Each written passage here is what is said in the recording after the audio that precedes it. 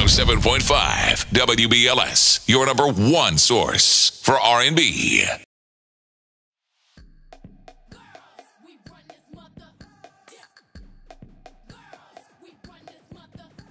Um, the moment I knew that this is something that I wanted to do um, was when I was uh, about 14 and I was in the car and I mean just the adrenaline rush and and the excitement of being in the car, smelling the the fumes and the burning rubber it just it just made me um, know exactly what I wanted to do. And I knew that at that age you know um, I could make a career out of it. And because at the end of the day it's a sport but it's also a business. And at that age I realized that this is what I wanted to do. Because you know when you're younger you um, your career goals change like every day. One day you may want to be a doctor, one day you want to be a lawyer, but um, I realized right then that this is what I wanted to make a career out of.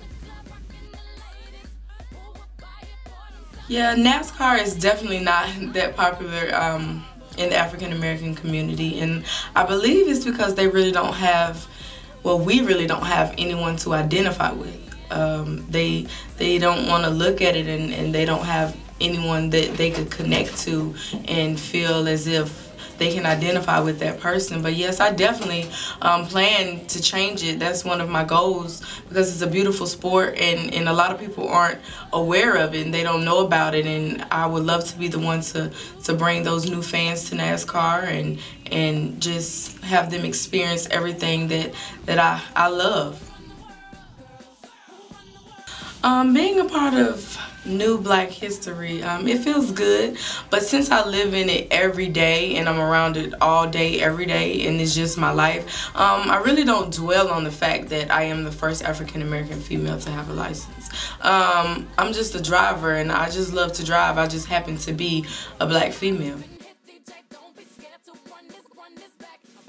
Discrimination comes every day um, in everyday life but believe it or not, I've got a lot of positive support from NASCAR and, and some of NASCAR's fans. Um, of course, you're going to always have those people that are just, you know, ignorant and, and just not really good people but you know that's that's everyday life. You, you're gonna have your haters and you're gonna have people that's gonna try to bring you down. But that's why I go around the country all the time speaking to different schools different colleges different high schools speaking to kids about motivation and, and empowerment and loving yourself and just knowing that there's only one you in this world. Why try to be anyone else? So I mean discrimination comes all the time but I don't I pay no attention to it at all If you were to get in the car with me on a random day, my regular car, um, what kind of music you would hear would probably be Kendrick Lamar, um, ASAP Rocky, Jay-Z, of course Beyonce, um, Adele. I mean, I like all kind of music. I like Daughtry.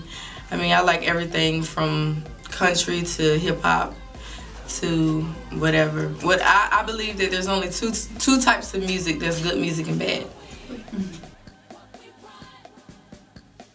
The most rewarding aspect of my career is actually being blessed and able to do something that I love to do on an everyday basis because I know that there's so many people that are stuck in jobs that they absolutely hate and they're they're doing it because they have to.